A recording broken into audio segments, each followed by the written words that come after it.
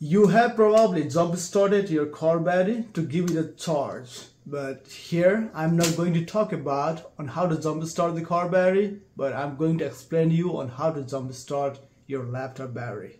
Firstly, I'm going to demonstrate a scenario when you need to jump start your laptop battery. And then I will show you on how to mitigate that kind of issue. Hi, my name is Gopal and welcome to my channel GoTech Talk.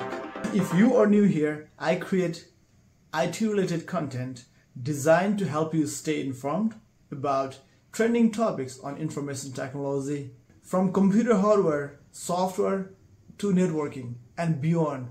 I have got you covered.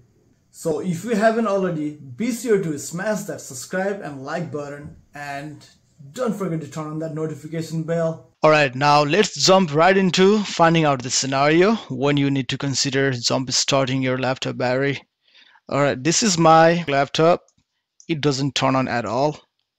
I tried pressing power button like several times. First you know few seconds still doesn't turn on. There is no any indicator light no lights on the keyboard. So I also tried giving power from external source. And this one is connected to my wall outlet. Uh, still no light at all. Here it could be two cases all right? One it could be the motherboard is totally fried out. Next scenario could be the battery is causing the problem.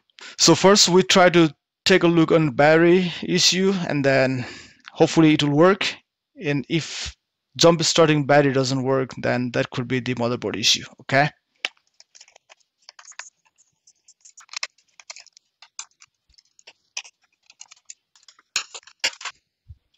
okay I was able to take the bottom housing off and this is how it looks like. This is the battery and this is how you jump start your laptop battery. First unplug the battery harness from the motherboard.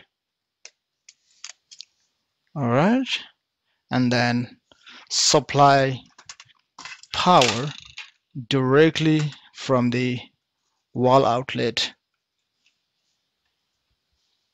to the laptop. Push the power button. That's that looks good. Uh, I see some light on my keyboard and my display is coming up too. Woo! Look at that. My display is coming up. So something is wrong with the battery. Maybe it wasn't communicating with the motherboard. So in that case, we need to jump start the laptop battery all right so this is a perfect scenario.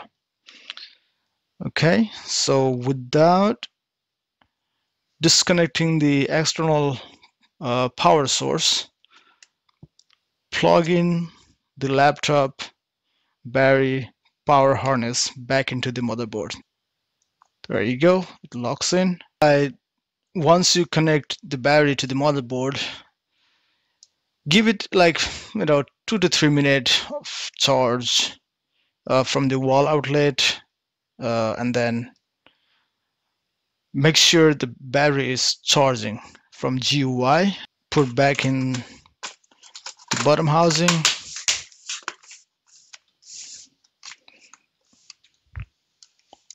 Alright, you see, my laptop battery was 60%, but somehow it doesn't want to turn on at all but after jump is starting the battery all right from 60% now it moved to 61% so that means uh, my laptop battery is charging. But to be safe uh, you want to give a restart disconnect the external power source and make sure the laptop turns on without external power source all right Okay, it is coming back on without any external power source. So we were able to fix the laptop battery issue. So now you know it. If it doesn't turn on at all, you don't see any activity light on the side, that means something is wrong with the battery. So disconnect the battery and and connect to external power source and then jump start the battery and you should be good to go. Alright, that's it. I hope I was able to help you save some time and your money. If I did, don't forget to like this video. Thank you so much for watching. I'll see you in the next video. Bye bye and